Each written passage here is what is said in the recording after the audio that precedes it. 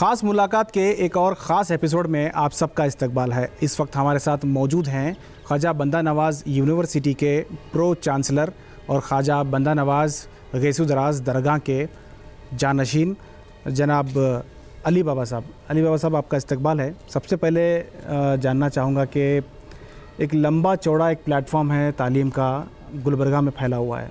ख्वाजा बंदा नवाज़ गैसू दराज ने तालीम को फ़रोग देने के लिए एक मुहिम चलाई थी। आज वो एक काफ़ी घना दरख्त महसूस होता है उसे देख के। आप प्रो चांसलर हैं यूनिवर्सिटी बन चुकी है और यूनिवर्सिटी ये पूरे साउथ की पहली मुस्लिम यूनिवर्सिटी या माइनॉरिटी यूनिवर्सिटी जिसे कहा जाता है। आप इन इदारों को किस तरह से जोड़े रखे हैं और क्या ख़ास बात है यूनिवर्सिटी में? अस्सलाम वालेकुम। अ, इस यूनिवर्सिटी को एक ख्वाब के तहत एक मकसद के तहत बनाया गया है। जैसा कि आपने अभी फरमाया हज़रत ख्वाजा बंदा नवाज़ की जो तालीमात है उसमें इल्म को बहुत इम्पोर्टेंस दिया गया है। और अ, इल्म सिर्फ़ दीनी इल्म नहीं है बल्कि दुनियावी तालीम का भी ज़िक्र है। जब ख्वाजा साहब की ख़ुद तालीम हुई थी तो उन्होंने सारे उलूम को अ, अपने अ, इल्म में लिया था और सारे उलूम में महारत हासिल की थी। तो इसी बुनियाद पर मेरे दादा बुजुर्गवार सजादा नशीन मरहूम सैयद शाह मोहम्मद मोहम्मद हुसैनी साहब ख़िबला ने ख्वाजा एजुकेशन सोसाइटी जो क़ायम की और मेरे वालद मोहतरम की निगरानी में, उनकी सदारत में आज हमारे पास एक प्राइवेट यूनिवर्सिटी भी शामिल है, जो 2018 में मिली और इस मकसद को आगे ले जाने का जो उनका विज़न है, उसी के तहत हम आगे बढ़ रहे हैं कि ये सिर्फ़ कौमी सतह पर ना हो, ये एक बैन अवी यूनिवर्सिटी का इसको मकाम हासिल होना चाहिए। इसी के लिए उनका जो विज़न है, वो रिसर्च की तरफ़ बहुत ज़्यादा है, ताकि खदमत खल्क हो और हर इल्म में इंसानियत को उसका फ़ायदा हो। मुख्तलिफ़ इदारे हैं आपके तकरीबन 18 से बीस इक्कीस शायद इदारे हैं। इन इदारों में एक C B S E school भी है। जी। वो किस तरह से चलाई इसमें एक आई सी एस ई स्कूल है सैयद अकबर हुसैनी स्कूल जो 1989 में शुरू हुआ था। उस ज़माने में वो पहला स्कूल था इस इलाके में नॉर्थ कर्नाटका में पहला था। अब चंद हो गए हैं गुलबर्गे का दूस गुलबर्गे में दो हो चुके हैं हमारा मिलाकर।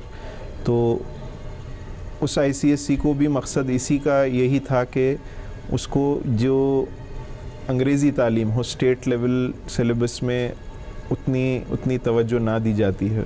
इसका आई का स्टैंडर्ड बहुत ज़्यादा है।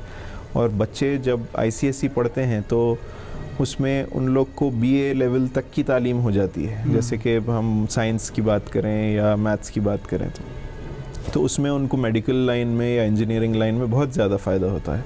तो इसीलिए आई स्कूल उस बिना पर क़ायम किया गया था और बहुत सारे बच्चे उस पर फ़ायदा भी उठाए हैं और बहुत अच्छे अच्छे मकाम पर आज पहुँच चुके हैं। कितने इदारे इस वक्त कुल चलाए जा रहे हैं यूनिवर्सिटी के तहत भी और ख्वाजा एजुकेशन सोसाइटी की तरफ़ से? खाजा एजुकेशन सोसाइटी के तहत 24 इदारे शुरू हुए हैं और चल रहे हैं अल्हम्दुलिल्लाह। लेकिन उसी में से जो हायर एजुकेशन वाले इदारे थे वो यूनिवर्सिटी में अब्जॉर्ब हो चुके हैं। तो यूनिवर्सिटी में सारे हायर एजुकेशन के जैसे कि मेडिकल है इंजीनियरिंग है डिग्री है B com B S C B A वगैरह बी एड ये सारे ग्रेजुएशन वाले जितने कोर्सेज हैं वो सारी अब अब यूनिवर्सिटी के तहत जी। है जो। अनएडेड थे। जो एडेड हैं वो अभी सोसाइटी के तहत ही चल रहे हैं जैसे कि बीबी रज़ा के जो इदारे हैं वो एडेड इंस्टीट्यूशन अगर इन इदारों का नाम लिया जाए तो एक साथ आप ले पाएँगे बीबी रज़ा स्कूल से अगर शुरू करें तो देखिए Bibi Raza girls high school है बीबी रज़ा जूनियर कॉलेज है बीबी रज़ा डिग्री कॉलेज है बीबी रज़ा पीजी सेंटर है। जी। फिर Khwaja Banda Nawaz college of engineering Khwaja Banda Nawaz institute of medical sciences Syed Akbar Hussaini school Khwaja high school Nasheman Nasheman girls high school pre primary hmm, और Khwaja Banda Nawaz general hospital जो teaching बन चुका है medical college के आने के बाद। और हमारे पास तीन हॉस्टल्स हैं। बस इतने सारे इदारे। चलाएँ। और क्या तरक्की आप करना चाह रहे हैं और क्या इदारे लाना चाह रहे हैं? अब लॉ लॉ भी हमारे पास परमिशन मिल चुका था लेकिन उसी दौरान हमारी यूनिवर्सिटी क़ायम हुई। तो उसको फिर से आ, हम लोगों ने कन्वर्जन के लिए डाला है। वो अभी जवाब के लिए मुंतज़र है। वहाँ से जब अप्रूवल आ जाएगा तो हम वो भी लॉ शुरू कर देंगे। इन आगे मैनेजमेंट का भी इरादा है। स्कूल ऑफ़ मैनेजमेंट होगा। और एक ख़ास और एक एक इदारा चलता है KBN school of vision ji. I S I P S पूरे सिविल सर्विसेज़ की कोचिंग होती है। वो अभी शुरू शुरू के स्टेजेस में है लेकिन लोग फ़ायदा उठा रहे हैं उसका।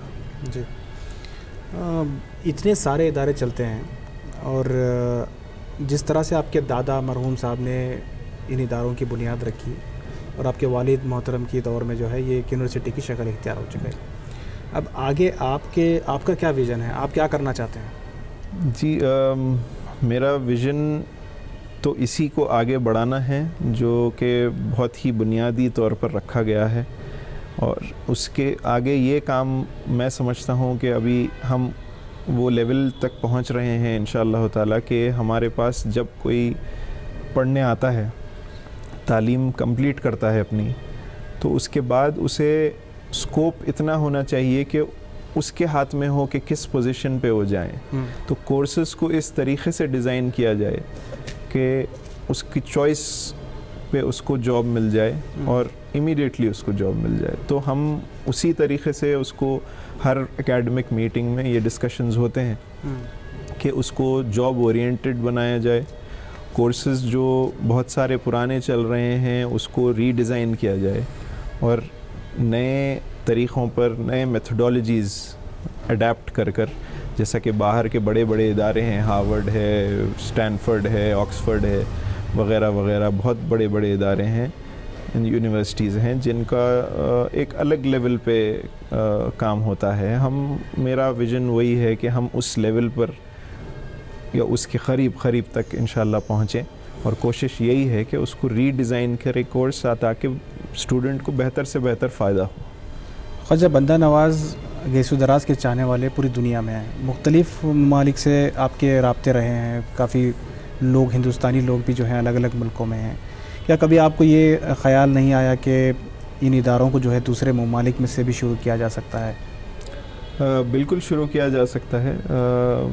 चूँकि हम लोग ये सारे मीटिंग में डिस्कशंस भी आते हैं लेकिन आ, हमारे मीटिंग्स में सजाद नशीन साहब चूँकि मैं प्रेसिडेंट कहूँगा इदारे से मुंसलिक बात है तो प्रेसिडेंट जो है सैयद शाह खुसरो सैनी साहब उन उनसे सारे लोगों के बीच जब डिस्कशन होता है तो हम यही सोच कर रुक जाते हैं कि पहले ये जो इदारे हम यहाँ पर चला रहे हैं पहले वो उस स्टैंडर्ड पर पहुँच जाएँ ताकि हम कभी हमको ये सोचना ना पड़े कि क्वालिटी में कोई कॉम्प्रोमाइज़ है हम्म। जब जाकर हम जो है दूसरे जगहों पर इदारे चलाएँगे क्योंकि अगर क्वालिटी में कॉम्प्रोमाइज़ अगर सौ इदारे खोल लें और क्वालिटी ना मिले तो उसका कोई फ़ायदा नहीं हम्म। लेकिन दस इदारे ऐसे चलाना बेहतर है जिसमें क्वालिटी भरपूर हो और उससे स्टूडेंट्स को फ़ायदा मिले।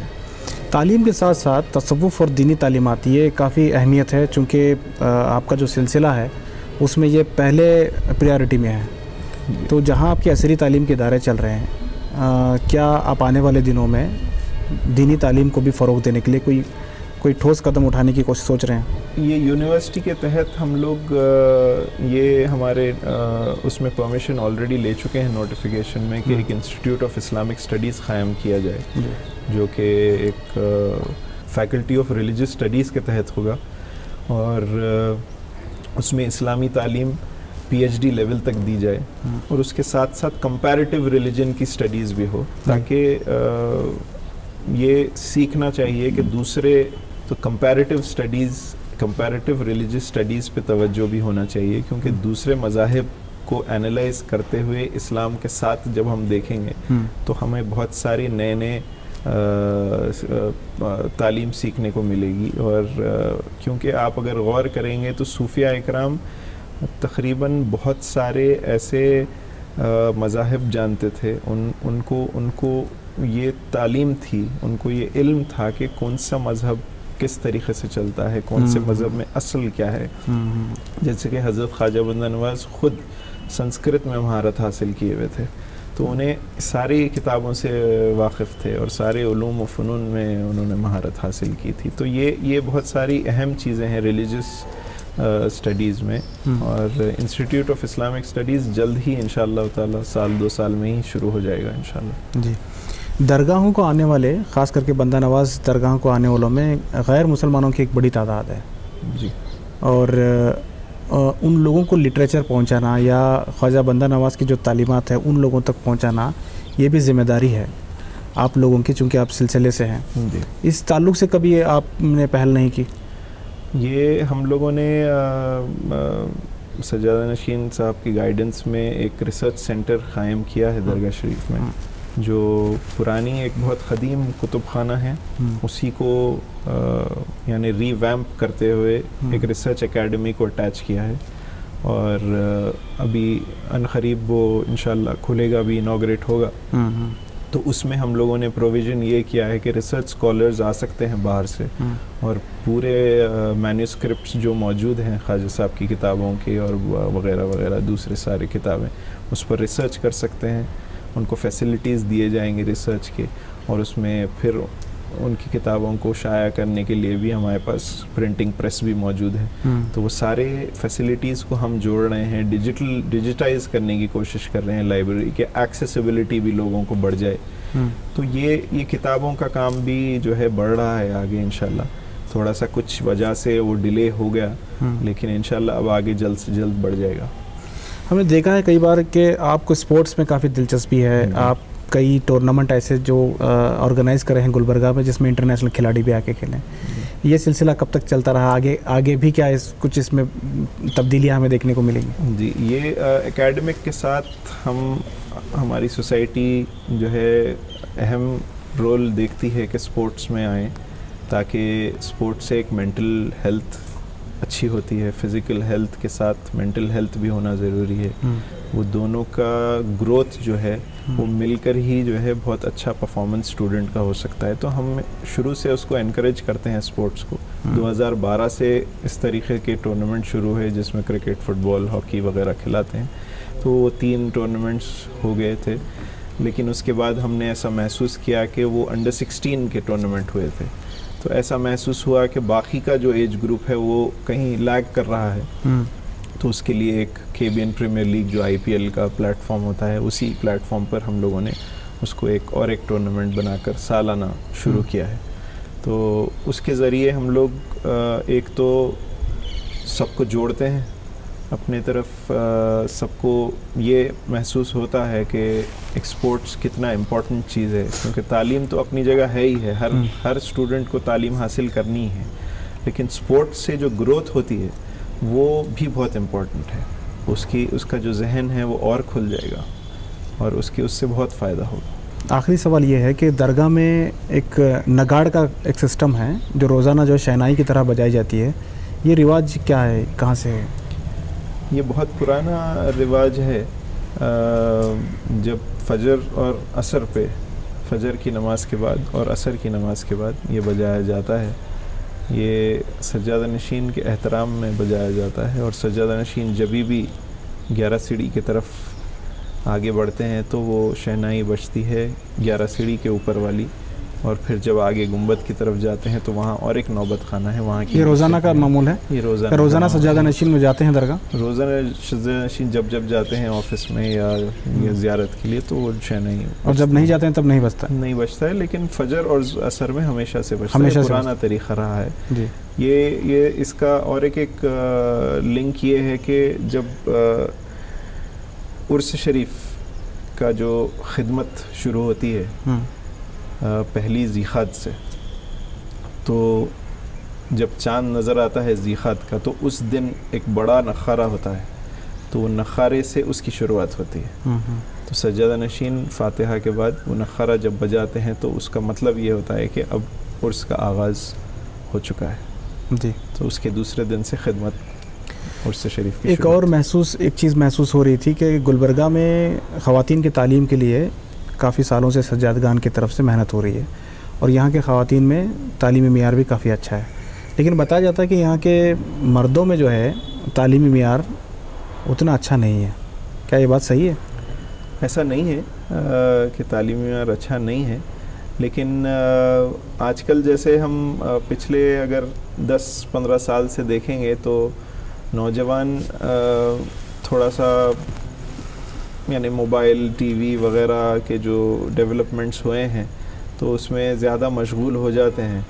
और बाहर बैठना, दोस्तों में फिरना तो ख़वातीन को ये चीज़ें कम मिलती हैं। हम्म, हम्म, हम्म। तो उसमें ख़वातीन का तालीमी परफॉर्मेंस अच्छा होता जा रहा है। लेकिन मर्द का जो है उसमें थोड़ा सा कम होता जा रहा है। लेकिन उसको हम लोग भी आगे पुश कर रहे हैं तो इसी में और एक एक फ़ायदा स्पोर्ट्स लेकर आता है कि वो सारे जितने ऐसे चीज़ें हैं जिससे माइंड और स्लो हो जाए या बेकारी में वक्त ज़ाया हो जाए तो उसको हम स्पोर्ट्स की तरफ़ डाइवर्ट करना चाहते हैं।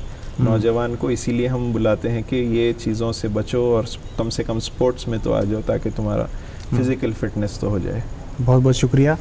ये थे सज्जादा नशीन के फ़र्जन जो ख्वाजा ख्वाजा बंदा नवाज़ गेसु दराज के सजादा नशीन डॉक्टर खुसरो हुसैनी साहब के बड़े फ़र्जन अली बाबा साहब। अली बाबा ख्वाजा बंदा नवाज़ यूनिवर्सिटी के प्रो चांसलर हैं और तमाम तालीमी सरगर्मियों को बारीकी से देखते हैं, हैंडल करते हैं और तालीमी फ़रोग के लिए जो मुमकिन कोशिशें हैं, वो इनके तरफ़ से हमेशा रहती हैं। और साथ ही साथ ये स्पोर्ट्स के लिए भी काफ़ी लोगों को अपलिफ्ट करते हैं। स्पोर्ट्स के लिए ये कई बड़े टूर्नामेंट कराए हैं। गैर मामूली टूर्नामेंट जैसे कहा जा सकता है, जैसे कि कोई इंटरनेशनल टूर्नामेंट हो रहा है, कोई इंटरनेशनल खिलाड़ी गुलबर्गा जैसी जगह पे आ रहे हैं तो कुल मिला के तालीम के साथ स्पोर्ट्स को भी ये लेके चलना चाहते हैं और आने वाले दिनों में ये तालीम और स्पोर्ट्स दोनों को एक आला मुकाम पर गुलबर्गा में लाना चाहते हैं और साथ ही साथ ख्वाजा बंदा नवाज़ की तालीमत को न सिर्फ़ गुलबर्गा बल्कि बाहर ले जाने की भी कोशिश में है। नाजरन, ये था ख़ास मुलाकात का ख़ास एपिसोड अगले एपिसोड में फिर मुलाकात होगी खुदाफिज़